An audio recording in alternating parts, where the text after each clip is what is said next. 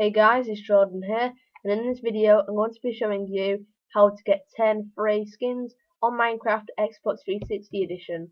So these are hidden on the dashboard, but they are very easy to get to, and in this video I'm going to be showing you how to get them. So here's just a quick preview of the skins that you will get in this pack. So now onto the actual tutorial. All you'll have to do is go to the dashboard and go to Summer of Arcade. This can be found on Home or Games and you just want to select it. When you select it, you'll be presented with like a briefcase. You want to go down to Minecraft Offer and you want to select Get Skin Pack. And from there, guys, you just download the pack and enjoy the pack. So that is tutorial on how to get those 10 free um, skins for free. And I hope you enjoyed it and I'd appreciate it if you could drop a like and a comment on the video. Thanks for watching and I'll see you guys next time. Take care. Bye.